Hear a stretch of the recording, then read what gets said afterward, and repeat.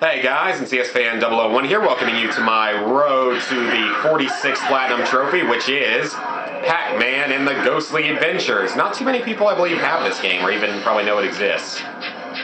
Sort of like Cabela's or Ben... No, I don't know if it was Ben... It was either Ben 10 or Cabela's hunting expeditions that not a whole lot of people had at the time that I platinumed them. But uh, this game, it's an interesting game. It's not anything like real Pac-Man, like what you would see in the arcades and stuff. Instead, it's basically a 3D uh, platformer where you play as Pac-Man trying to like save a city, I believe, or something. And, you know, it's kind of fun. It's definitely not one of the worst games I've had to play to get trophies in. It's also really good because it's rich in silver trophies. It's got like 18 silvers or something and also like five golds, so it's really good for trophy points.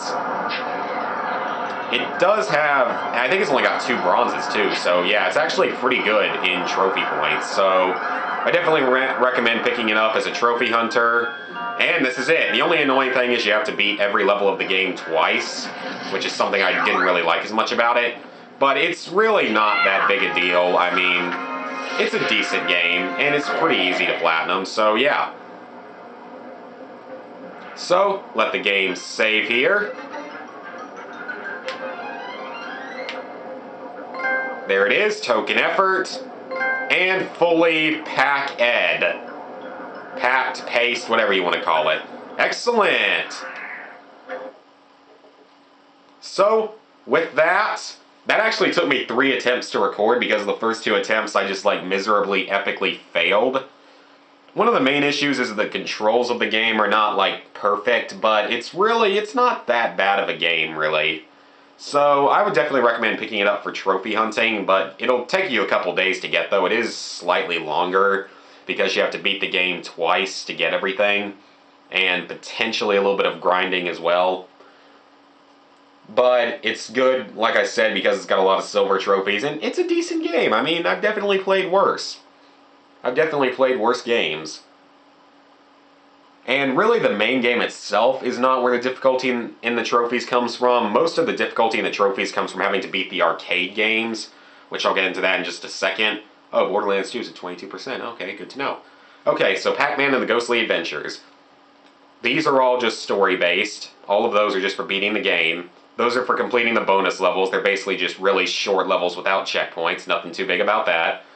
The globe energy is basically what the Pac-dots are in this game. Oh man, I'm 99%. Oh man, I'm close. Oh well.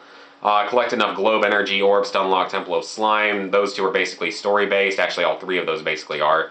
These are some of Pac-Man's forms, and those two are going to probably come from just beating the game, and that one will come during your second playthrough.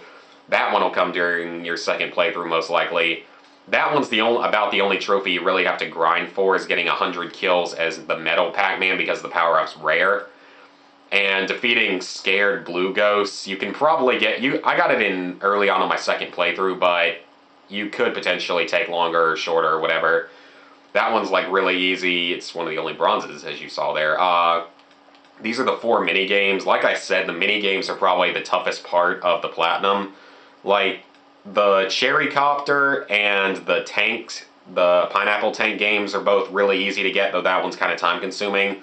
It's just the Paccarcini and the Lemon Rocket that are actually hard. And you'll get them, you can get them both eventually. Uh, this is where the two playthroughs come in, is that you have to beat the game one. The first time you play through the game, you get fruit at the end of every level to unlock the arcade machines but after then you have to go back through and beat every level again to collect the arcade token in it, which is where you can get your remaining kills at. And then once you get your kills, you can pretty much just rush through the levels without killing anything. Uh, that one you just have to collect a whole bunch of items called like Slimatarium or some really weird name. That one you just have to collect a whole bunch of Packberry pies without dying too often. That one's actually pretty easy. And then completing a level without losing a life is probably going to come naturally, at least during your second playthrough really about the only way you're going to die is from fall damage. It's very rare to get killed by actual enemies. So, with that, 2,923 trophies, level 19, 99%. So, I'm only 77 trophies away from reaching 3,000. So, there is a very good likelihood that I will have 3,000 trophies by the time I get my PS4, hopefully sometime in late February or early March, depending on when GameStop has them. Excuse me, guys.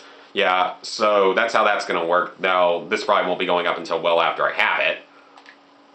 46 platinums, 247 golds, 669 silvers. Wow, that jumped my silvers a lot, just like sound shapes. And 1961 bronzes. So, guys, that is it for this platinum trophy. Like I said, a pretty easy one. Little time consuming, but not too bad. It's nice because I'm recording this on a snow day. So, pretty awesome there.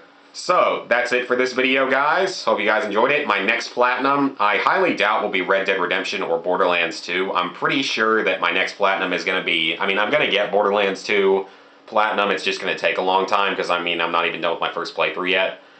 So, my next one is either going to be Dead Rising 2 off the record or whatever comes next on Gamefly. So, I will see you guys then.